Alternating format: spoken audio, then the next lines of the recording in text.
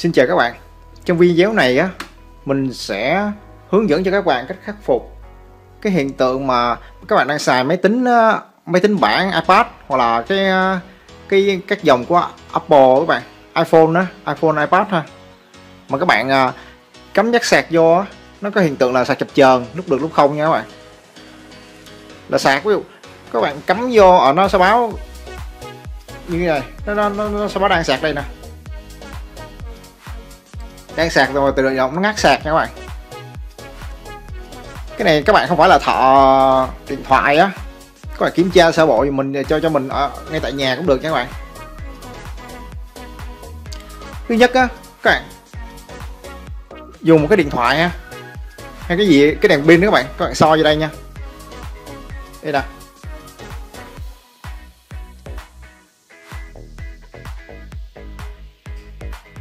Các bạn soi vô cái lỗ chỗ này nè.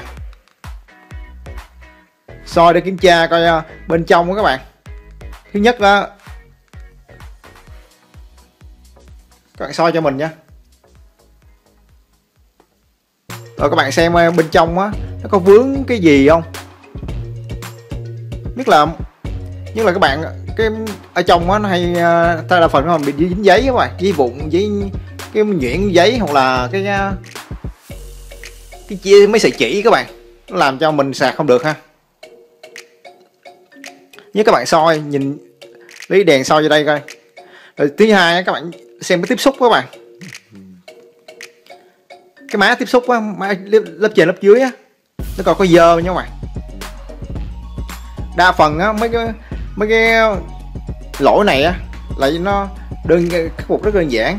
Nó lại bị dơ tiếp hư dơ tiếp xúc nha các bạn. Tiếp xúc này á, lâu ngày á, nó bị oxy hóa, hoặc là lớp bụi bẩn hay là có thể trường hợp ẩm mốc các bạn. Nó vô nước lên nên nó nó tiếp xúc nó không tốt á. Nên mình cắm chắc sạc vô á, là nó sạc chập chờn. Lúc được, lúc không.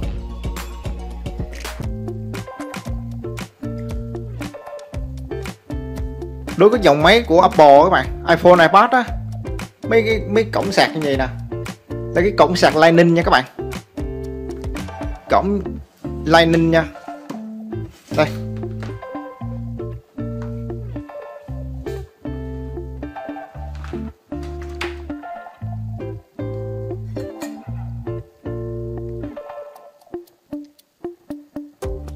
Rồi các bạn thấy rõ không? Đây nè, cái cổng Lightning nha các bạn. Cái cổng Lightning có 8 chân nha các bạn để chú ý để để quan sát cho mình á cái chân số 4 mình đếm. Mình đếm từ trái qua phải nha các bạn. Từ trái qua phải là chân số 4 chân số 4 là chân uh, visa. Là cái nghĩa là cái điện áp sạc các bạn. Điện áp từ nguồn sạc vô còn điện áp dương á. Còn cái chân số 8 chân số các bạn có quan tâm để ý cho mình cái hai chân là chân số 4 và chân số 8 tính từ uh, trái qua phải nha các bạn. Chân số 4 nè chữ 4 là nguồn dương nè. Chữ số 8 là nguồn âm nha các bạn. Nó lấy từ ờ, cái cốc sạc đó các bạn. Cái cốc sạc như vậy nè. Bạn cắm cái cốc sạc vô đây. Các bạn đo ra ra chân số 4 chân số 4 của USB của cái cáp Lightning này. Chân số 4 và chân số 8 ha. Cái này có ưu điểm nhiều hơn so với uh, hiện nay á cái dòng điện thoại smartphone đó các bạn. Nó hay sử dụng ba loại ba loại cáp ha.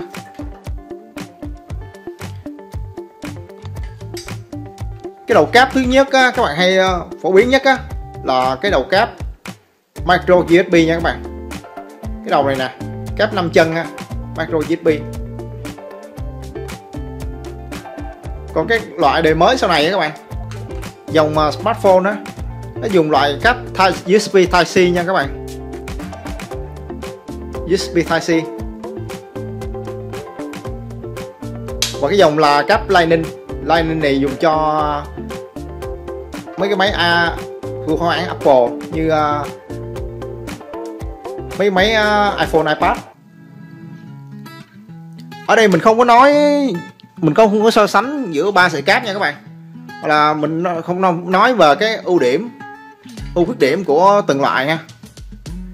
nhưng mà cái này á mình nói sơ qua cái này á nó có ưu điểm hơn cái cáp lightning này á, nó có ưu điểm hơn so với cái cáp USB Type C với cái cái cái cáp ờ, micro USB này các bạn.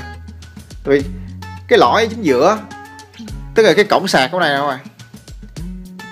Cái bọt sạc của nó này nè nó sẽ không có cái lõi giữa nha các bạn. Ở còn đối với cái cái cái dòng mà dùng USB á micro USB hoặc là USB Type C á là nó có ở chính giữa nó có cái, cái có cái khe các bạn. Chính giữa nó sẽ có cái khe để mà mình uh, cắm vô cắm vô nó mới tiếp xúc được mấy cái chân này các bạn. Đây nè mấy cái chân ờ, này nó tiếp xúc với cái má đồng á nó tiếp xúc với jack sạc nên nó mới sạc được nha các bạn. Còn cái này á cái cổng này ờ, cổng uh, lightning nè nó sẽ ít bị hư hơn các bạn ít bị hư cái cái đuôi sạc này hơn. Nó chỉ có trường hợp nhiều nhất á, là nó sẽ, sẽ chỉ bị chỉ bị dơ nha các bạn. Dơ hoặc là có cái vật gì á bên trong đây á. Như uh, cái vải vải vụn nè cái dây sợi chỉ á hoặc là mấy cái, cái miếng giấy nhỏ nhỏ các bạn. Nó lọt vô đây không? Nó làm cho mình khi mình cắm cáp vô á. Nó bị chênh hoặc là nó mất tiếp xúc á. Làm sạc là sụp chập chờn các bạn lúc được lúc không ha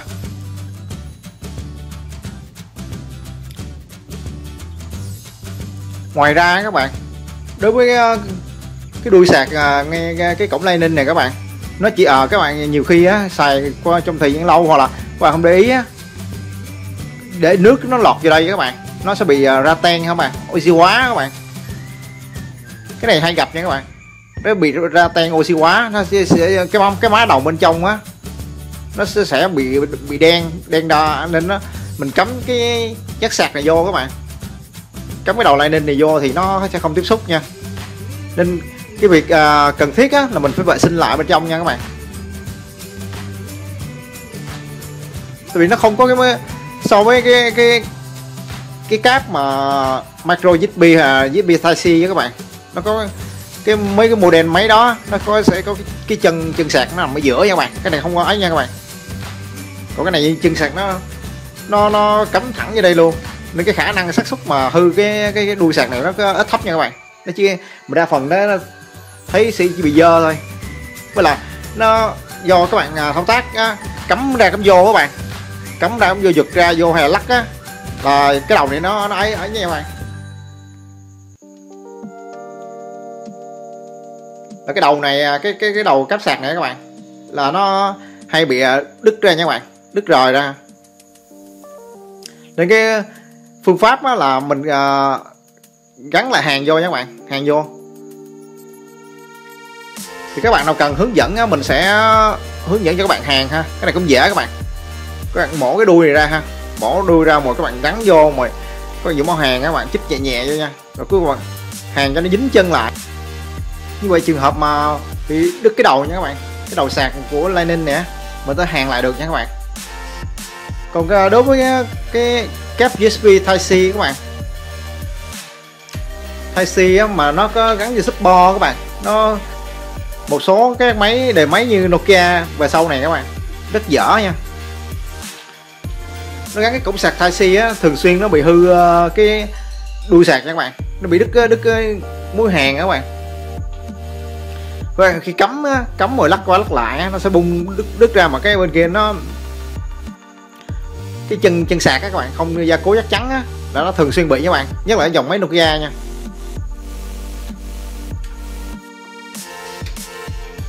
Rồi sau đây mình sẽ hướng dẫn các bạn nha cách uh, vệ sinh cái cái cái, chân sạc này nha. Thứ nhất á, các bạn quan tâm cho mình là gì? Đây các, các bạn thứ nhất là gì các bạn? Kiểm tra cho mình cái ờ,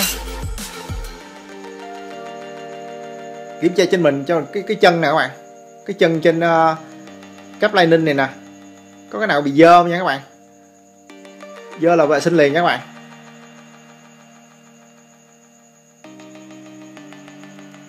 Trước kiểm tra trên trên cái cáp này nè có chỗ nào vệt dơ nhất là các bạn kiểm tra cho một cái chân số 4 á số 4 với chân số 8 á.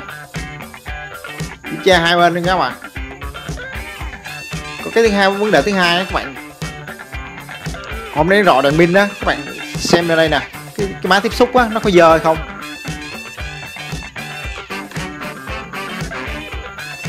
Ở đây mình sẽ hướng dẫn các bạn à, cách kiểm tra nha.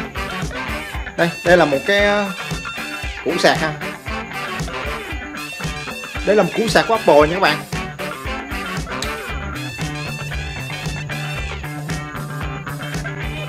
Và cấp nguồn cho mình nha cắm cáp vô.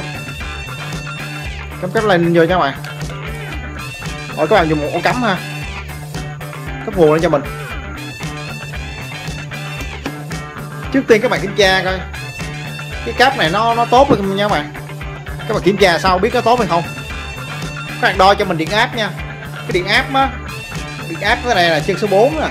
Hôm nay mình đã nói rồi, mình bây giờ mình nhắc lại. Cái chân số 4 là chân VC cái chân, chân dương nha các bạn. Chân dương của sạc ha. Chân số 8 á. Là chân trừ. Các bạn dùng đồng hồ á. Dùng đồng hồ. Còn cái này mình dùng đồng hồ à, số nha các bạn. Chỉnh mức 20 ha. Rồi mình đo cái điện áp đầu ra nha các bạn. Đo ra nó có hay không? Nếu nó không có à, mình cứ à, mình có thể kiểm tra là củ sạc. Nó quyền nguyên nhân là do củ sạc là do cáp sạc nha các bạn. Các bạn để ý nha, trên cáp sạc Lightning đó hai đầu này giống nhau các bạn. Hai đầu giống nhau. Kích đo từ à, cái từ bạn cái các bạn tính từ trái qua phải nha. Từ trái qua phải là chân số 4 đến chân số 8 bên đây cũng vậy, y hệt nha các bạn. Thêm vào đó là cái chân số 8 á. Chân số 8 được nối nối là cái chân mát đó các bạn. Âm của cái sạc á là nó nối với đây nha các bạn. Với mát nha. Các bạn đo không cần cặp cái chân số 8 được, mà quay đen á các bạn đã bên bên ờ, cái phần kim loại phía phía ngoài này nè các bạn. Kim loại nhiều nhiều uh, phía ngoài á không cần phải để chân số 8 đâu. Còn cái que đỏ bạn đỡ cho mình cái chân số 4 nha. Các bạn tìm cái chân số 4 từ trái qua phải. Các bạn chích vô chích vô. Còn nó có ra điện áp nha không nhá nếu là điện áp uh, của sạc là ok nha các bạn. Ủa? rồi các bạn nhìn thấy không? Mình đo mát nha. Mát một loại các bạn đo chân số 8 ha đó các bạn. Đó phần kim loại ngoài nè. Là cái chân số 8 đó, nó nối với phần ờ, rìa phía, phía ngoài nha các bạn. Đó các bạn đo được không? Điện áp cục sạc các bạn. Là 5,31V nha các bạn. Ok nha các bạn. Và là cái cáp sạc này ok tốt nha cái giờ đầu, đầu, đầu tiên là các bạn kiểm tra cáp sạc cho mình nha. Và là các các bạn xác định cái âm sạc là tốt. Mà khi mà các bạn cắm vô cái um, mấy cái um, iPad á iPad hoặc là cái máy uh, iPhone á mà nó cứ chập chập chờn các bạn. Nó không có báo gì á. Vậy là nếu mà cái cáp uh, Lightning này nó ok nha các bạn mà các bạn cắm vô á nó báo là đang sạc rồi chút xíu nữa là nó tự động nó ngắt các bạn. Là không phải là uh, do cáp sạc nha các bạn. Tại vì các bạn cái này kiểm tra lúc đầu rồi là do cái cáp sạc này nó ra điện áp ổn định rồi các bạn. Đo có điện áp. Trường hợp mà nó nó chập chờn các bạn là một là gì nó lỏng cái đầu xe cáp sạc này nha. Nó lỏng hoặc là cái mối hàng bên trong đó, các bạn nó mất tiếp xúc. Nên nó làm cho xe cáp sạc chập chờn các bạn à, nếu gặp trường hợp này các bạn phải mổ ra nha. Mổ ra rồi các bạn hàng chân cho nó dính lại. Còn không á các bạn không thích á, thì các bạn à, mua sợi, sợi cáp khác nha.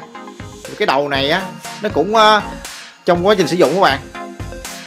Đầu zin à, các bạn đầu zin nó thì xài được uh, chính hãng á nó xài được lâu hơn ha. Chứ còn mấy đầu lô đầu đầu uh, mấy mấy uh, cái cái sạc nhái các bạn trung quốc á nó hay bị hư vậy mua thì rẻ tiền thôi nhưng mà cắm vô cắm ra như dơ giật á là nó hay bung bung cái đầu ra.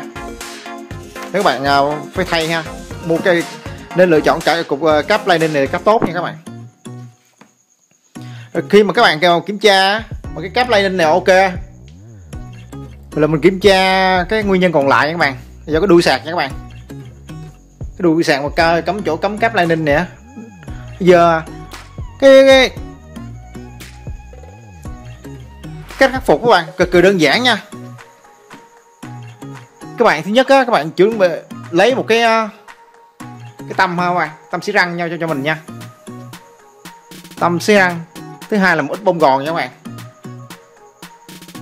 Một là tâm xí răng, hai là bông gòn nha các bạn. Thứ nhất á, nếu mà các bạn à, thấy bên trong này á, nó dơ, các bạn dùng tâm tâm xí răng nha các bạn. Nó có dính mấy cái à, vải hay cái giấy các bạn. Mấy vùng giấy vùng nó làm cho cái cái cáp lining này cắm vô nó bị kênh hay bị dơ, mất tiếp xúc các bạn. Các bạn cứ móc ra nha các bạn. Móc hết sạch sẽ ra nha các bạn. Còn trường hợp á, nó bị oxy hóa nha các bạn, do bị ẩm mốc á. Móc nó ra ten các bạn. Móc ra ten bên trong nè. Thì các bạn, thứ nhất á, các bạn sau khi móc xong rồi, các bạn dùng nên dùng uh, cái ờ, R77 nha các bạn. Các bạn xịt vô ha.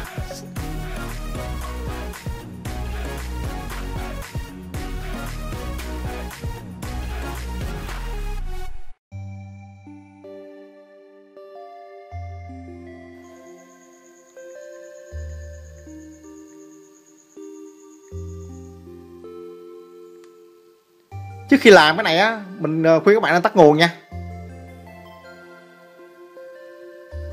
Nguồn trước khi thao tác nha các bạn. Sau khi đó các bạn đã tắt nguồn thiết bị rồi. Cái máy iPhone iPad á. Cái trường hợp này trường, trường hợp mà nó bị uh, oxy hóa ra tan như thế này các bạn. Ý là nó bị ngấm nước cho đây á. Làm mất tiếp xúc á. Các bạn dùng cho mình một ít ờ, ra lấy bít bông gòn nha các bạn. Tại vì cái lỗ này nó dễ thao tác hơn so với ờ, cái lỗ bên uh, chắc sạc các bạn. Type C hay là cái ờ, cái cáp uh, micro USB á. Cái lỗ lỗ này rộng hơn nha các bạn. Đây nè. Cần lý cho mình chưa vừa đủ ha. Đừng có nhiều quá. Nếu mà bị nó bị oxy hóa bên đây nha, nha các bạn. Nó bị vô nước ra tan chỗ này á. Thứ nhất là các bạn dùng uh, cái cái tâm xi răng. Và bông gòn các bạn quấn lên rồi các bạn ly ly ờ, uh, R7 các bạn xịt vô đây nè các bạn. Xịt vô cái cái, cái tầm bông nè. Một là các bạn dùng R7 cho mình nha. Che R7 á. Các bạn xịt vô mà các bạn chà chà bên trong cho cho nó mồi đỡ uh, ngâm ngâm uh, chút xíu nữa các bạn. Xong rồi các bạn dùng cho mình một cái như cái xăng nha các bạn. Đây nè cái hũ xăng thơm nha các bạn. Như vậy là các bạn có thể dùng xăng thơm nha các bạn cái này xăng thơm là nước rửa bo nha các bạn. Xăng rửa bo các bạn ra mấy cái chỗ mà bán xăng bio á, hoặc là các bạn à, ra chỗ mà bán chưa bán linh kiện phụ tùng à, để linh kiện thay thế cho các thợ mà sửa điện thoại các bạn.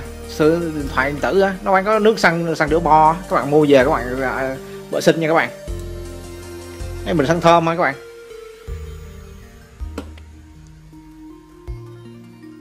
Ngoài ra cái đó là trường hợp nặng nha các bạn. Cái trường hợp mà nó, nó ra tan oxy hóa quá nhiều á bên trong nè. Là các bạn thiết kế tiên á mình khuyên các bạn là phải dùng à, thiết thứ nhất là tắt nguồn điện thoại nha. Rồi các bạn thao tác các bạn dùng à, uh, R7 các bạn xịt vô đây nè. Xịt, xịt vô tấm bông này nha các bạn. Tấm bông à, cái bông á bông gòn mà lấy ít thôi nha các bạn. Đừng lấy nhiều quá nhiều quá mà nó dính lông dính dính bông gòn ấy đây nữa. Rồi chiếc kia các bạn phải xoắn đều cho nó nó chặt các bạn. Đừng để cho nó bung ra. Vừa thôi nha các bạn, đừng nhiều quá nha. Vừa để mình dễ nhét vô và thao tác các bạn. Đây nè. Đó các bạn, thứ nhất là các bạn có thể dùng R7 cái tiếp cách thứ hai các bạn dùng xăng thơm nha các bạn. Xăng thơm. Còn trường hợp mà các bạn mà dơ ít nha các bạn đó trường hợp nặng nha. Còn các bạn thấy trong này dơ chút xíu, ít thôi.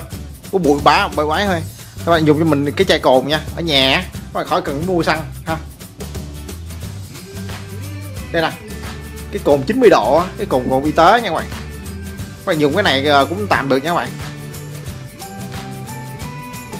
Đây, cái chai này để các bạn để vệ sinh nha. Nếu mà nó dơ ít nha các bạn, nó bị bụi á. Ở đây các bạn cũng làm tương tự ha. Cái này cũng tắt nguồn điện thoại nha các bạn rồi, các bạn lấy cồn á các bạn xịt vô đây nè. Xịt vô tăm bông nha. Nè.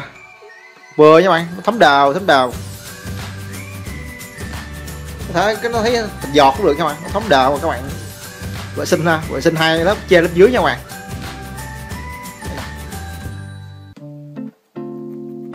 Mới chà qua chà lại, chà qua chà lại là ok nha các bạn. Không cần phải phải à, đẩy lên đẩy xuống hay nãy gì đâu chè trong từ trong ra ngoài, trong ra ngoài. Các bạn chè kỹ cho mình ha.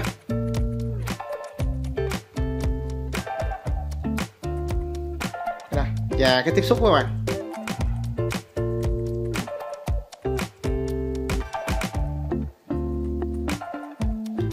Chè hai bên luôn các bạn. Nó có hai mặt phía trên, phía dưới á. Các bạn chè hai hết luôn nha. Nè chè nó cũng dơ. Các bạn nhìn thấy không? Tấm bông nó dơ rồi. Trường hợp mà nó dơ nha các bạn. Rồi các bạn sẽ thay cái tâm khác nha. Thay à, cái à, cái miếng à, bông gòn khác nha các bạn. Sao cho nó sạch? À, các bạn soi giờ. Các bạn nhìn thấy cái cái má cái má đồng ở đây á. Ok là được ha. Các bạn ví dụ các bạn làm một lần á nó không sạch. À, các bạn cứ làm hai ba lần á. Là nó nó sạch nha các bạn. Còn à, theo đó nếu mà các bạn nhìn thấy cái cáp ờ, lightning này nè mấy cái chân tiếp xúc này nè nó dơ các con vệ sinh nó y hệt như vậy nha các bạn. Các bạn cũng dùng uh, cồn cồn 90 độ nha. Đây nè mấy chai cồn này nè các bạn. Cồn y tế các bạn vệ sinh không?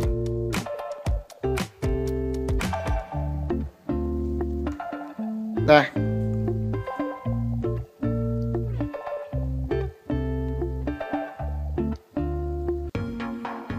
Chân cắm cắp lại đấy các bạn. Các bạn cũng, cũng, cũng thấm thấm bông gòn ha.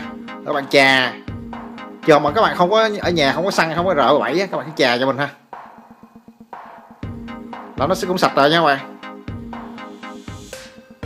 Đây nè.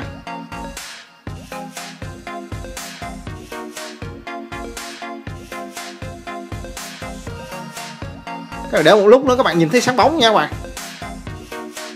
Cái cáp này nè.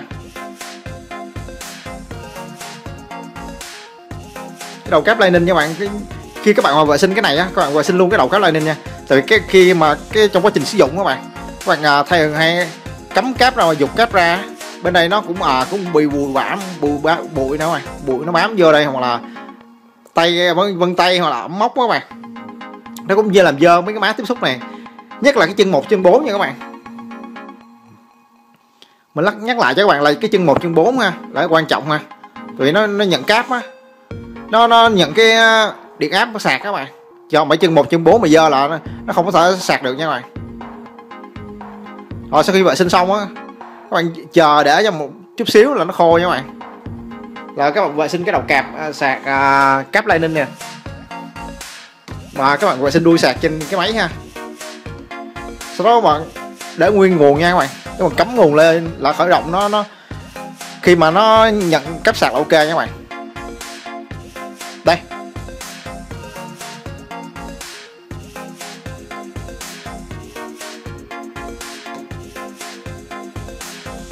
Chờ cho nó khởi động lên nha các bạn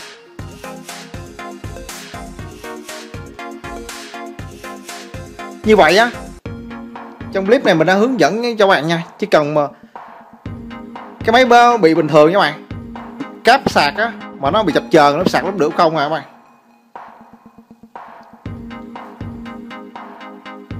Thế nào? sạc á mà lúc được lúc không á, hoặc là cắm sạc vô á, sạc một lúc nó ngắt á là nó nó bị đa phần nó bị dơ nha mày dơ cái tiếp xúc này nha. Mình chỉ cần dùng một chai cồn là mình uh, có thể vệ sinh nha mày vệ sinh sạch uh, cái, cái tiếp xúc.